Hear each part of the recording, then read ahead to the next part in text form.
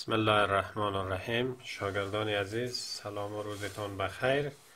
باز هم در یکی دیگر از درس های ریاضی صنف ششم که مربوط به درس هشتم موضوع درس امروزی ما شما طاقت هست رسیدیم. امیدوار هستم که درس های گذشته را انشالله منظم در خانه انجام دادین. امروز درس نو شروع می‌کنیم. بخیر. خب موضوع طاقت از یک تعریف از بخش طاقت.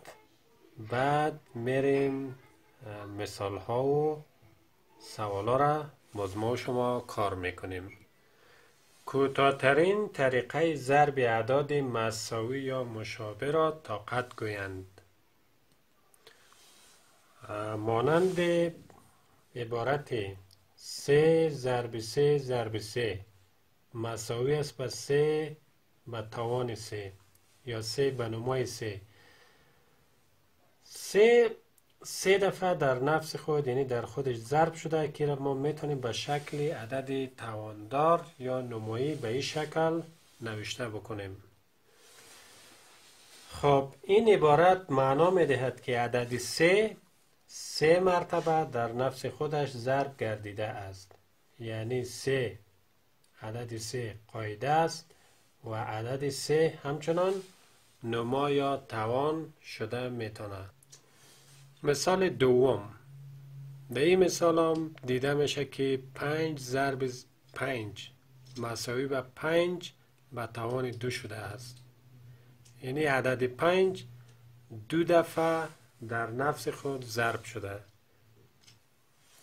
طوری که در پنج و توان دو عدد پنج. عدد پنج را به نام قاعده و عدد دو را توان یا نما گویند. یعنی می‌تونیم نوشته کنیم که اگر برجستر میره نشان بتوم پنج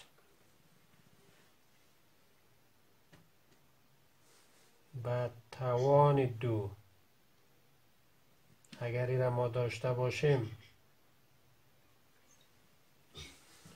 پنج عبارت از قاعده یا بیز و دو را به توان یا نما.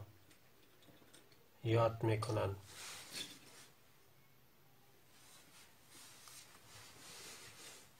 خب.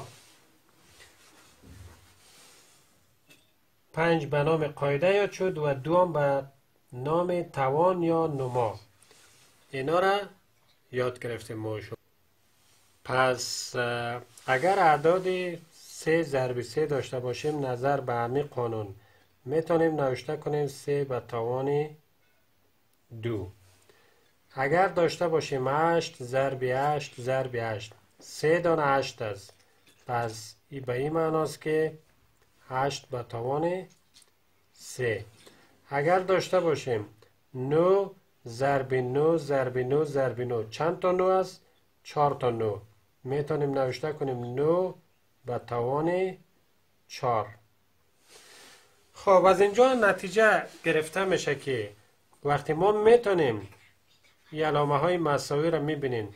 طرف چپ مساوی سه ضرب سه را به شکل عدد تواندار یا طاقت نوشته کنیم. برعکسش اینا رو هم ما می‌تونیم به شکل ضربی بنویسیم. اگر مثال های را داشته باشیم که پنج به توان سه این را می‌تونیم نوشته کنیم که پنج ضرب پنج ضرب پنج. اگر داشته باشیم چهار به توان دو. این مساوی است به چهار ضرب چهار. خب اگر داشته باشیم سه به توان چهار پس می‌تونیم نوشته کنیم که سه چند مرتبه در نفسش ضرب میشه؟ چهار مرتبه. ضرب سه ضرب سه ضرب سه. خب حالا برای ما ساده شد که وقتی ما بتانیم اعدادی که در حالت ضرب هستند اعداد مساوی یا را به شکل توان نوشته کنیم مثل که اینجا دو تا سه داریم سه قاعده گرفته میشه توان ها جمع میشه. در واقع اینا یک است توانشان. اگر اینجا سه دانه هشت داریم پس هشت به توان سه. وقتی اینجا چهار دانه نو داریم نو به توان چهار. برعکس پنج به توان سه. ای را می‌تونیم به شکل ضربی اگر به شکل ضربی اگر نوشته کنیم اینا را می‌تونیم در حالت ضرب قرار بدیم. پنج به سه یعنی پنج ضرب پنج ضرب پنج. چهار به توان دو. توانش دو است پس چهار دو دفعه در نفسش ضرب شده. و سه به توان چهار. به این معناست که سه چهار مرتبه در نفس خود ضرب شده است. یادداشت. الف. عدد تواندار A بالایش دو. چونین خوانده می شود A به توان یا نمای دو و یا A مربع.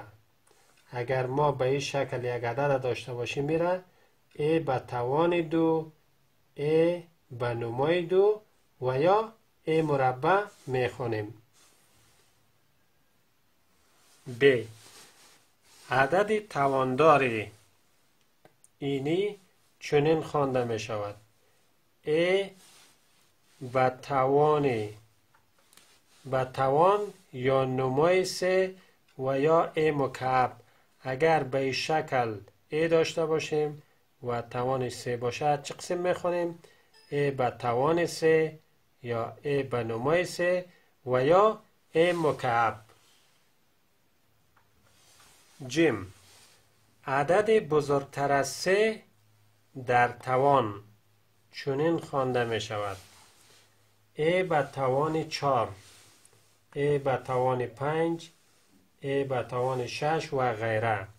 پس نتیجه میشه که فقط برای a به توان دو ما می‌تونیم بگوییم که a به توان دو a مربع و یا a به نمای دو. و همچنان برای A به توان 3 A مکعب یا A به نمای 3 ولی از 3 به بالا اگر باشه ما خودی هم عدد نام می‌گیریم.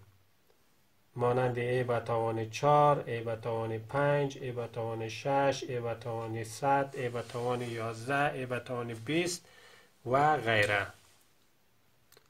فعالیت ها 6 مربع یا شش به توان دو را به طریقه دیگر بنویسید. دوم نتیجه آخری پنج مکعب یا پنج به توان سه را دریابید. سوم عدد دوازده مربع یا دوازده به توان دو را خوانده و حساب کنید. و در عدد 25 مکعب قاعده و نما را نشان دهید و عدد 9 ضرب 9 ضرب 9 را به طریقه دیگر بنویسید. اینا را کار می‌کنیم ما شما. حل می‌کنیم. سوال اولی شش مربع را به طریقه دیگر بنویسید.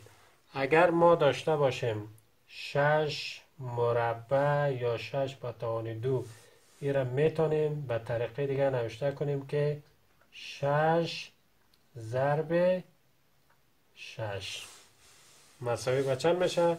مساوی به سی و شش. دومی نتیجه آخری پنج مکعب را دریابید. پنج مکعب یعنی پنج به توان سه. مساوی هست به پنج. ضرب پنج ضرب پنج. مساوی می شود نتیجه پیدا می‌کنیم. پنج ضرب پنج بیست و پنج بیست و پنج ضرب پنج یکصد و بیست و پنج. این نتیجهش است سوال سوم. عدد دوازده مربع را خوانده و حساب کنیم اینی عدد است. این را ما چه قسم می‌خوانیم دوازده مربع یا دوازده به توان دو. و حساب کنیم این را حساب می‌کنیم. دوازده به توان دو یا مربع مساوی است به دوازده ضرب دوازده و این مساوی میشه به یکصد و چهل و چار این سوال ما هم حل شد. سوال بعدی. در عدد 25 و اینجا سه نشته است. قاعده و نما را نشان دهید. خودی عدد. 25 عبارت از چی است؟ قاعده و. سه. عبارت از چی است؟ نما هست. و عدد آخری ما. نو ضرب نو ضرب نو. میگه یه عدد به طریقه دیگر بنویسید. ما وقتی داشته باشیم نو ضرب نو ضرب نو. پس را می‌تونیم نوشته کنیم که نو به توان چند دانه نو داریم؟ سه دانه. به توان سه. خب شاگردای عزیز امیدوار هستم درس امروز شما یاد گرفته باشین درسایتان تمرین های کتابتان کار بکنین. متوجه درسایتان و مهمتر از همه متوجه صحت و سلامتیتان باشین. تا درسی آینده شما را به خداوند بزرگ و بینیاز میسپارم خداوند نگهدارتان